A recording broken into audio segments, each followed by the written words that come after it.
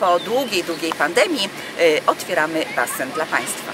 Z okazji Międzynarodowego Dnia Dziecka rozpoczęliśmy proces napełniania wody. Jest to mozolny proces, ponieważ trwa rzeczywiście kilka dni. Dlaczego? Dlatego, że e, na prawie no ponad pół roku basen był nieczynny, w związku z tym musimy tą wodę napełniać w sposób taki delikatny, powoli, ponieważ łącznie no tutaj będzie ponad 800 metrów sześciennych wody, w związku z tym to ciśnienie, ten napór na y, naszą nieckę będzie dosyć duży, dlatego też ze względów bezpieczeństwa proces musi być powolny. Y, Później, kiedy napełnimy po kilku dniach, myślę, że to 4-5 dni będzie trwało napełnianie wody wszystkich tych niecek, a później oddajemy tą wodę do analizy, do analizy, do sanepidu i czekamy na, y, na y, decyzję sanepidu. Jeżeli sanepid nam da pozytywną decyzję, to oczywiście otwieramy basen, czekamy na Was i rozpoczynamy nasze zajęcia. Zajęcia zorganizowane, jak i również oczywiście osoby prywatne też zapraszamy do korzystania z naszego y, krytego basenu.